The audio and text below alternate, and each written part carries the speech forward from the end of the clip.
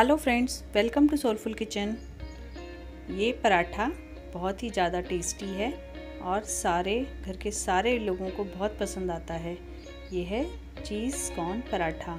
अभी आजकल का सीज़न भी चल रहा है, हमें कॉर्न बहुत आसानी से बाहर मिल जाते हैं। जनरली इसमें स्वीट कॉर्न यूज़ करते हैं, क्योंकि उसका थोड़ा सा टेस्ट काफ़ी अच्छा होता है मॉइस्चर ज़्यादा होता है उसमें। तो बहुत अच्छा लगता है और ये चीज़ देख रहे हो आप। कितना टेस्टी लग रहा है ये पराठा। और सबको पसंद आता है तो आप बनाया नहीं होगा अभी तक तो बनाकर एक बार ज़रूर देखिए। और कमेंट करके मुझे बताइए आपको कैसा लगा। और हाँ रेसिपी अगर आपको पसंद आती हो तो प्लीज़ सब्सक्राइब कर लीजिए लाइक कीजिए शेयर कीजिए एंड कमेंट्स भी किया कीजिए। तो ये मैं आपको बताती हूँ, मैंने कैसे बनाया है ये। सबसे पहले स्वीट कॉर्न लिया। इसके ऊपर के जो दाने हैं, उसको चाकू से डायरेक्ट ऐसे ही निकाल लेंगे क्योंकि हम इसे बड़ा ही ऐसे बड़े दाने ही यूज़ करेंगे। इसे मिक्सर से वगैरह नहीं निकालना है। ये ऐसे ही बहुत अच्छे लगते हैं खाने में।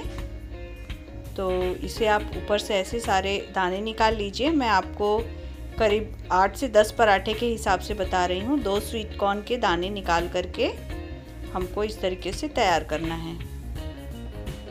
आपके पास में अगर ये अवेलेबल नहीं हो तो आप फ्रोज़न भी ले सकते हैं, उसे भी आपको थोड़ा सा बॉईल करके सॉफ्ट करके यूज़ कर सकते हैं।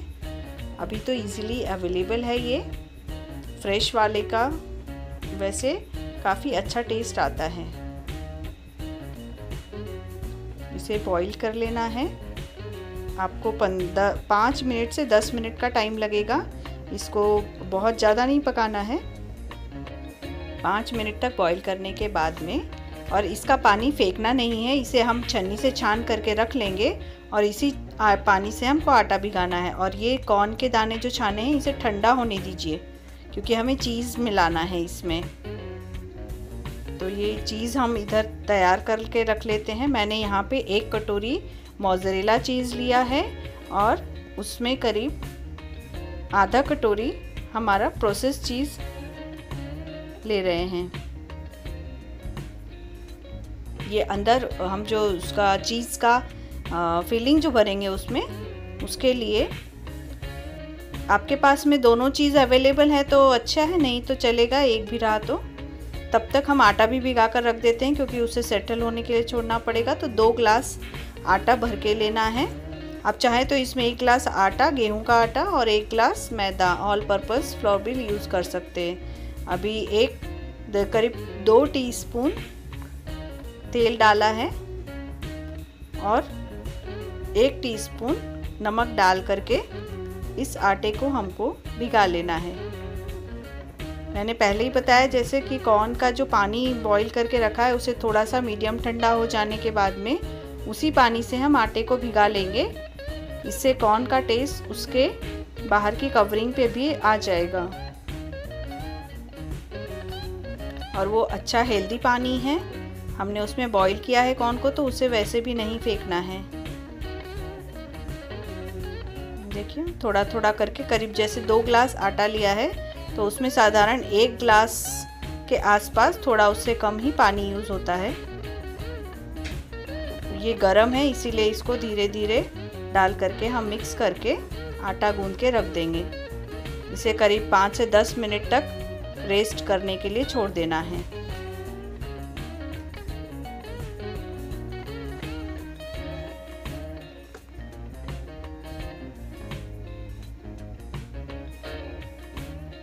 ये देखिए, अभी थोड़ा सा गूंद करके मैं इसे रख दूँगी। बाद में हमें इसे वापस थोड़ा सा स्मूथ कर लेना है।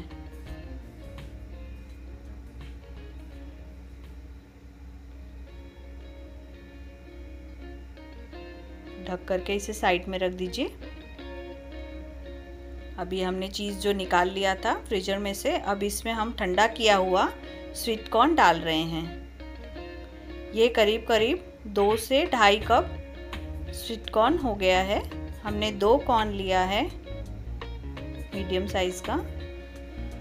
और इसे थोड़ा सा बॉईल करके तैयार कर लिया है। अब इसे, इसमें हम मसाले देंगे जो सब, सबसे पहले इसमें कटा हुआ हरा धनिया। आप चाहें तो इसमें बारीक कटी हुई गाजर वगैरह भी यूज़ कर सकते हैं। बीन्स, गाजर, वो भी अच्छा लगता है।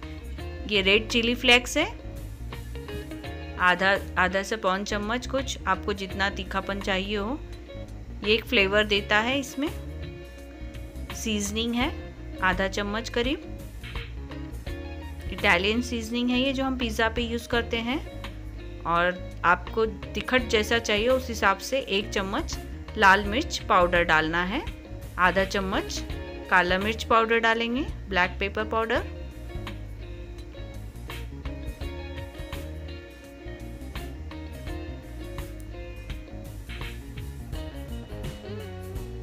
ये थोड़ा सा हाफ़ चम्मच चाट मसाला डाला है और एक टीस्पून के करीब नमक। नमक थोड़ा कम ही रखेंगे क्योंकि चीज़ में थोड़ा सा सॉल्टेनेस ऑलरेडी होता है।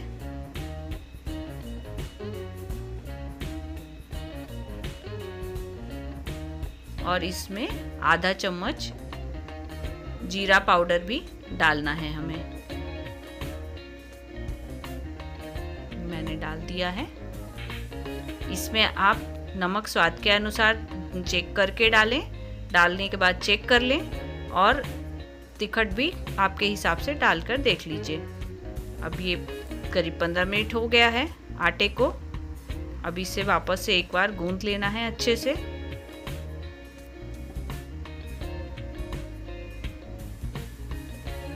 तरीके से वापस गूंदने से आटा काफ़ी स्मूथ हो जाता है।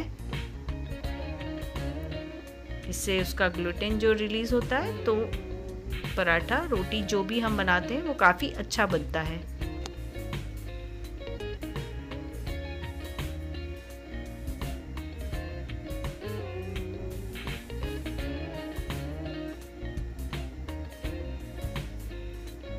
अब ये एक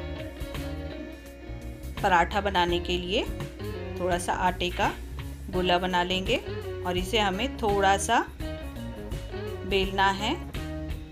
करीब दो तीन बार बेल करके इसे थोड़ा सा एक साइज़ में बड़ा करके और फिर अब इसमें फिलिंग भरनी है।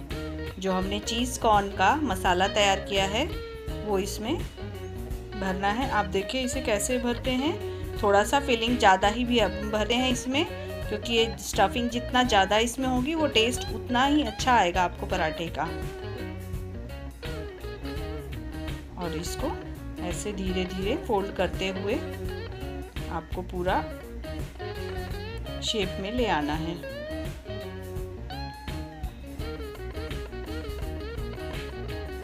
और इस तरीके से फोल्ड करके जो एक्स्ट्रा आटा ऊपर बच जाता है, वो हटा देंगे। इसे हल्के हाथ से प्रेस करिए। इससे कॉर्न अच्छे से स्प्रेड हो जाएगा, जो अंदर हमने भरा है मसाला। और इसी तरीके से उसको बेने के पहले भी हल्का सा उसे हाथों से टैप करके और मसाले को अच्छे से स्प्रेड कर लीजिए। इस तरीके से मसाला एक जगह जमा नहीं होता और सब जगह अच्छे से फैलता है। अब हल्के हाथों से इसे धीरे धीरे करके हमें बेलना है, नहीं तो मसाला बाहर आ सकता है, क्योंकि मसाला पूरा एक अच्छी तरीके से फैला है पूरा अंदर पराठे में। आपके अगर अच्छी हैबिट हो जाती है बनाने की तो आप इससे भी बड़ा और इससे भी मोटा ज़्यादा फिलिंग वाला पराठा भी बना सकते हैं धीरे धीरे अब इसे तवे, गरम तवे पर सेकना है हमें। पहली साइड को दो से तीन मिनट तक सेक करके उसको पलट लें। अब दूसरी साइड को करीब चार मिनट तक थोड़ा सा ज़्यादा पकाने, पकने देना है और तेल लगा करके इस सतह पे अब हमें दोनों तरफ़ से अच्छे से इसे सिकने देना है। थोड़ा सा आँच यहाँ पे कम रखेंगे गैस का क्योंकि अगर ये कम गैस पे हम थोड़ा ज़्यादा देर सेक लेंगे तो पराठे में अच्छा क्रिस्पीनेस आता है। एकदम हाई फ्लेम पे नहीं सेकना है। थोड़ा मीडियम फ्लेम पे ही इसे सेकने देने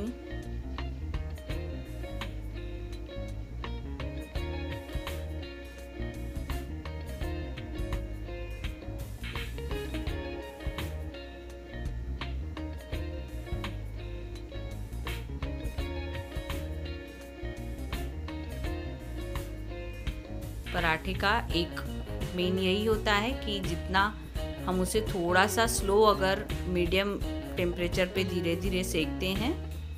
अच्छा सा तेल स्प्रेड करके उस पर तो पराठा और अच्छा बनता है। ये देखिए रेडी हो गया है। अब मैं आपको इसे काट कर बताती हूँ, अंदर से ये कैसा बना है। पराठे में पूरा इवनली सब मसाला फैला हुआ है और ये चीज़ देखिए आप टेक्सचर चीज़ का। इसे देख करके ही मुँह में पानी आ जाएगा। आप चाहें तो इसमें चीज़ की क्वांटिटी और ज़्यादा बढ़ा करके इसे बना सकते हैं। तो थैंक यू वीडियो देखने के लिए। अगर पसंद आया हो तो सब्सक्राइब कर लीजिएगा। To watch more recipes please visit our channel thank you.